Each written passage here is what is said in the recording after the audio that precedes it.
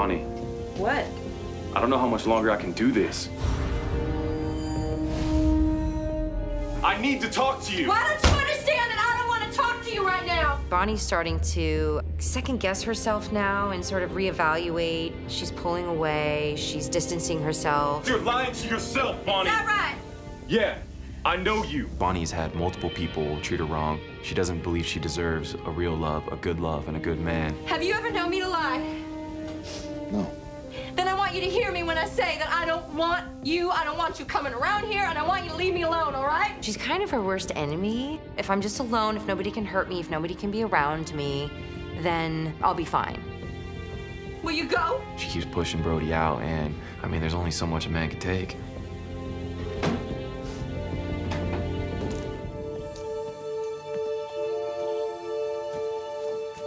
You know Eli Pitts is out of jail. Yeah. He did his time, so. When I left, I really didn't know what kind of happened except that he went to jail, and so I just assumed Brody always knew. What?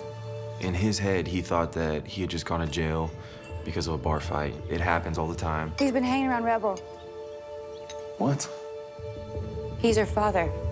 It feels so good to get that off my chest with someone that I really trust. You mean he raped you? Yeah. All of us. Bonnie, Shelby, me. To hear that, that someone can actually do that, it tore Brody apart. And now Rebel's hanging out with him. And she has no idea, and I don't know what to do. He just wants to make that guy disappear. Who the hell are all these people? They are here for your sister. What? Yeah?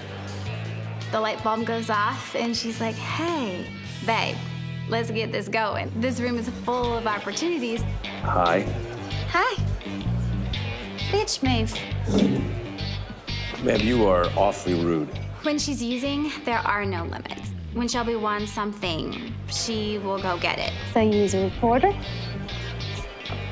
Yeah. But there's always a twist around each turn. Buy some drinks and uh, I'll talk.